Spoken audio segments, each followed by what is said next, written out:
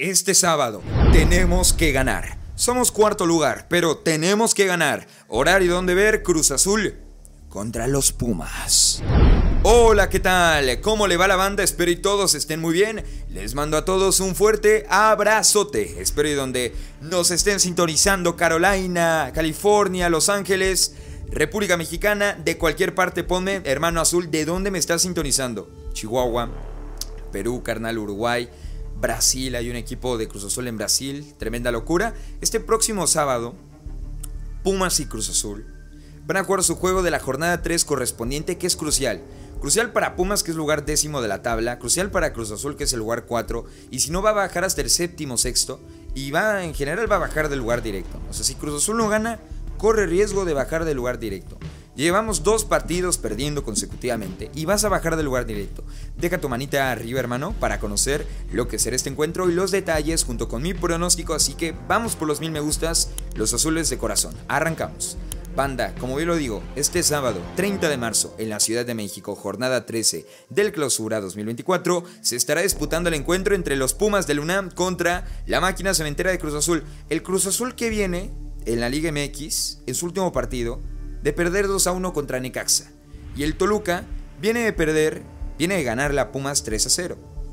Tuvieron ambos equipos duelos amistosos. La máquina cementera perdió contra el equipo, eh, ganó contra el equipo del América 3 goles a 2 en un partido donde creo que le sirvió demasiado a la máquina cementera. Porque aunque digan que es un amistoso, Cruz Azul jugó con plantilla titular y me parece que termina sacando la conclusión de que Camilo Cándido debe de ser el titular por la lateral de la izquierda y Rotondi debe de ocupar un rol de extremo interior. Ahora analizar los partidos de liga. La máquina cementera se medía contra el Necax en un marcador que quedó dos goles a uno. Conclusiones. La máquina cementera sufrió muchísimo ante el juego directo del equipo necaxista. Para los que me criticaban que dije que Cruz Azul jugó peor que Necaxa, yo no estoy diciendo mentiras métanse a las estadísticas, chequen bien con calma, porque tú puedes decirme que este equipo tuvo la posición, que este equipo tuvo tiros, ni siquiera los tiros es valoración para saber si jugó mejor Cruz Azul que Necaxa. Necaxa fue mejor. Creo que mi comentario fue un poco polémico, pero vamos a resumirlo así. En base a la idea que querían, y, no es el resultado, en base a la idea que, en base cada director técnico tiene un plan para ganar el encuentro. No hay que orientar el resultado, hay que orientar la idea de juego, que era el juego directo aprovechando las espaldas de los rivales. Al Nicaxa le salió mejor que el juego de Cruz Azul de posesión por banda, centros fueron centros fallidos. Eso no le salió a Cruz Azul. Por más que estuvieron intent, intent, intent, y tú en el partido vayas a Cruz Azul atacando, atacando, atacando, eso no se refiere a nada. Y por más que Cruz Azul haya tenido dos oportunidades claras que falló, eso no significa nada. También el Necaxa falló con Edgar Méndez, tuvo dos al arco y las voló. Así en esos recuerdos contra Cruz Azul. Por eso cuando digo que Cruz Azul fue peor que Necaxa, no estoy siendo ningún exagerado. Nos dieron cátedra de fútbol y Fentanes es un muy buen DT es de los más infravalorados de todo el fútbol mexicano. Si no me van a creer, adelante. Bueno, por el otro lado, el Toluca contra Pumas. 3 a 0 quedó el partido de los Pumas Chat.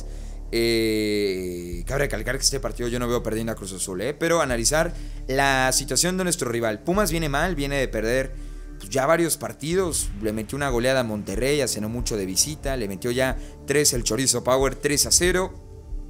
Viene mal, o sea, viene mal el equipo, viene perdiendo, viene sin rastro, nada más que de local están invictos. Ese es un poco como el lado positivo. Invictos no en victorias, sino que empatan, ganan, empatan, ganan, empatan, ganan, empatan, ganan.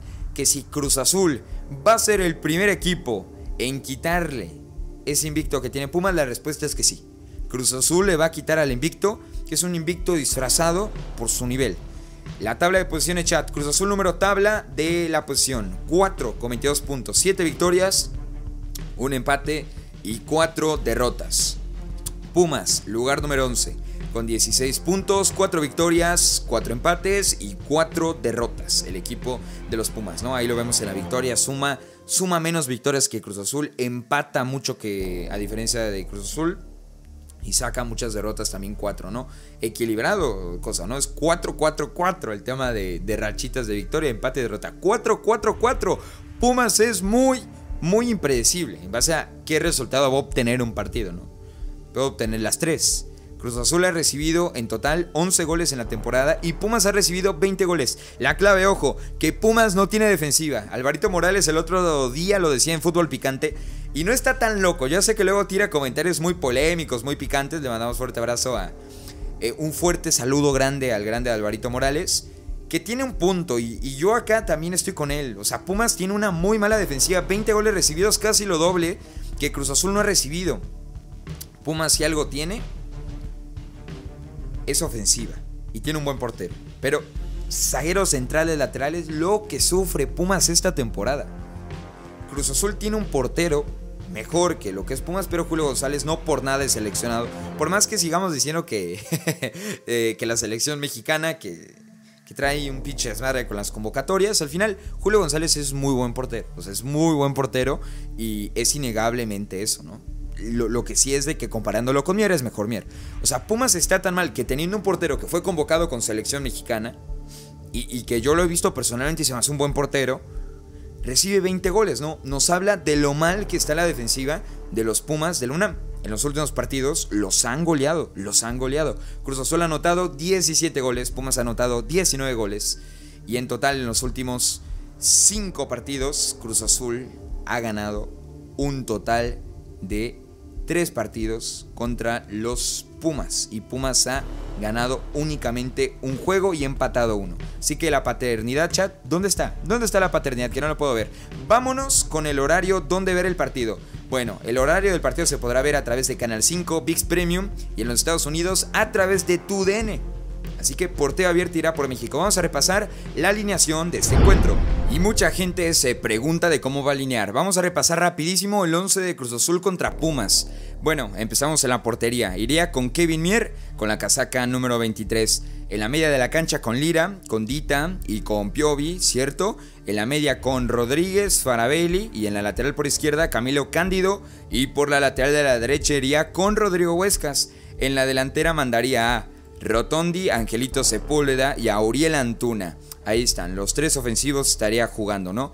Un poquito lo que Cruz Azul va a tratar de encontrar y donde yo veo las claves, uno por uno y paso por paso. Bueno, un poquito colocando la pelota en la media de la cancha cerca de las presiones. Pumas va a jugar en una línea de 5 y lo viene jugando así desde el partido contra Toluca. Y esta línea de 5 no interfiere en que no a Cruz Azul le vaya a costar meter goles, porque Toluca le hizo 3 con esta misma táctica. Lo mismo lo hizo Monterrey. Creo que a Pumas le han tocado rivales importantes también, fuera de las goleadas que se ha comido. Lo goleó Chivas, lo goleó Toluca, lo goleó Monterrey. Viene mal, muy mal el equipo de Pumas en cuestión de resultados. Debe de aprovechar eso la máquina. Eh, va a tratar un poco Pumas en ser el equipo que ensucia el juego.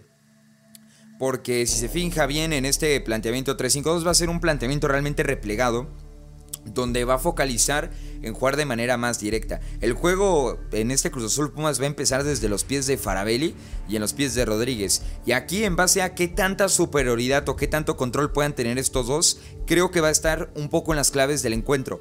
Normalmente va a tener a los dos delanteros, va a jugar con Martínez acá y el media punta acá pegado. Y creo que acá radica un poco en que Cruz Azul decide el momento perfecto de verticalizar con Camilo Cándido o en el caso de Huescas, ¿no? Me parece que va, a ser la variante, ¿no? Que encuentre los espacios Huescas por la banda donde puede recibir para lograr acá crear los desequilibrios eh, en la lateral, ¿no? Una vez que tiene en tiempo y en forma uno de los laterales la pelota Camilo Cándido y Huescas, creo que es donde puede venir el peligro. Sobre todo lo de Camilo Cándido que yo lo pongo como las claves de este partido contra el América en el amistoso allá en California. Una de las claves del encuentro fue que Camilo Cándido, por instrucción táctica, jugó más adelante y Rotondi jugó más como un definidor. No es que vaya a ser definidor en este partido contra Pumas, pero sí me informan que el plan es de que ocupa una posición de media punta para atacar este espacio, para pegar de larga distancia o en ocasiones también picar al vacío tras una pelota y vinculación de Camilo Cándido.